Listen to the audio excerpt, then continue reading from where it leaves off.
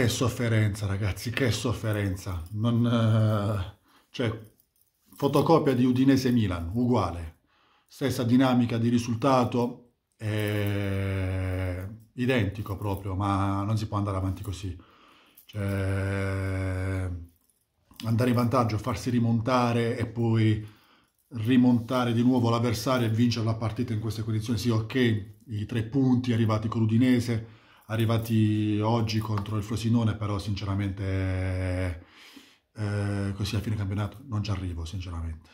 E, altra partita, ci sono stati tanti errori, ora sì, si è vinto, abbiamo conquistato i tre punti, ma a livello tecnico ci sono stati tanti errori. E,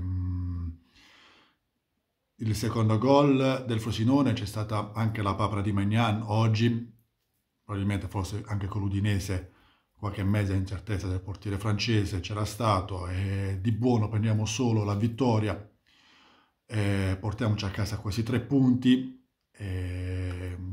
non c'è altro niente da aggiungere, una partita che il Milan doveva vincere diversamente, doveva vincere giocando e portandola a casa più facilmente.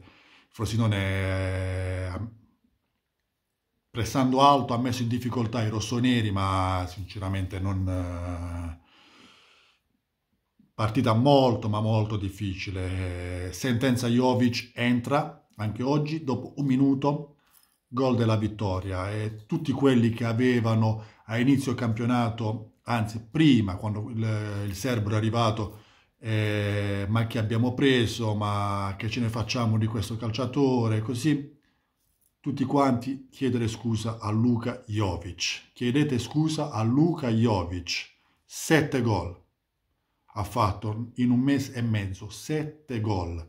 E la maggior parte non ne ha mai giocato titolare, sempre da subentrato. Quindi, tifosi rossoneri, chiedete scusa a Luca Jovic. Ora, testa a domenica sera contro il Napoli, mancherà Reinders che è stato ammonito oggi ed era diffidato. E prendiamoci questi tre punti, sicuramente qualcosa recupereremo o su Inter o su Juve o su entrambi se esce il pareggio e ricordiamoci anche che domani ci sarà anche Atalanta-Lazio. Quindi chiedete scusa a Luca Sentenza Jovic.